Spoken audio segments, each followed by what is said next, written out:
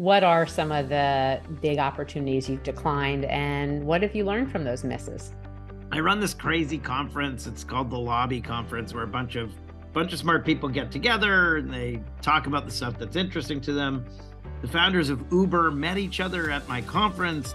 The founders then came to me to talk with me about the Series A financing, their first big financing.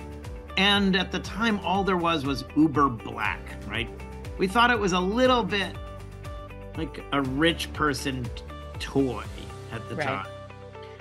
And so we ended up passing on the round. And obviously, you know, the history.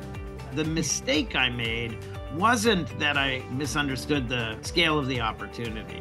It was that when you're looking at these businesses, you really should be looking into what is fundamentally different about what they're doing, what is fundamentally valuable in what they were doing. There's so much fear of failure. That's why people don't take risks. And I wonder how can we think about using failure productively? If you're going to take that risk, then you've got to be all in and be an optimist and assume it works out. And then you have to be totally comfortable when it does. My view is failure is great. Like, I just don't know why failure is a problem as long as you have the capacity to recover.